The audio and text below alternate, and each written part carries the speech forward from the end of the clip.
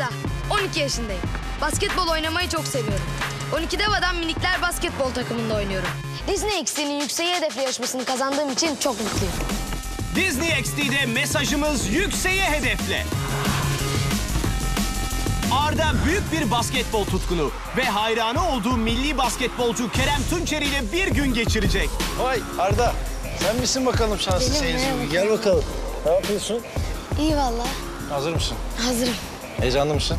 Çok heyecanlıyım. Heyecanlanma. Rahat rahat oturup konuşacağız seninle. Başarının sırrını öğrenmek isteyen Arda için bu inanılmaz bir fırsat. Kerem abi senin gibi bir basketbolcu olmak için ne yapmam lazım? En başta çok çalışacaksın. Takım arkadaşlarına. Takım arkadaşlarına saygılı olacaksın. Çok seveceksin onları. Hedeflerini hep yüksek tutacaksın. Kendine birine örnek alıp onun yaptığı şeyleri yapmaya çalışacaksın.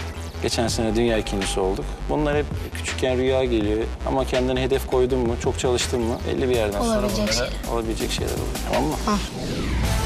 Şimdi de biraz antrenman, Ama gittin neden gittin buraya bakıyordum. Ama fake yapıyorum. Tamam. ve idolüyle birebir maç yaparak öğrendiklerini test etme zamanı. Kaybeden ne ısmarlıyor? Meyve suyu. Anlaştık mı? Anlaştık. Tamam.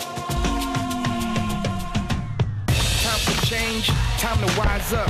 New game, take aim. Time's up. We keep grinding and keep shining. My